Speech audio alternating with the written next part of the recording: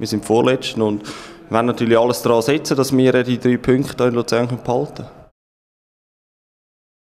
können. Ein sehr, sehr wichtiges Spiel gegen Servet. Wir wissen, wir brauchen Punkt und wir, wir brauchen unbedingt diese drei Punkte in diesem Spiel.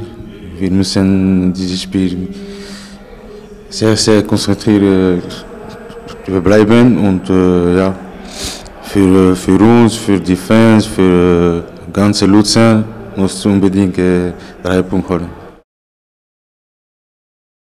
Ja, wir müssen sicher ein Spiel über den Kampf suchen und äh, Schönwetterfußball, das hat sicher äh, nichts zu suchen jetzt äh, am Samstag und äh, wir müssen alles daran setzen, müssen über den Kampf, über, über das Team, über die Solidarität müssen wir äh, den Sieg suchen.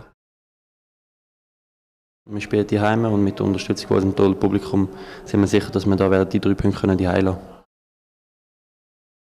Ja, die Heim sind wir sicher äh, stärker wie auswärts. Das zeigt sicher auch unsere Statistik, die wir haben. Und darum äh, müssen wir mit grossem Selbstvertrauen müssen wir in das Spiel gehen und äh, probieren, dass wir es eben kämpfen mit null Punkten heimschicken.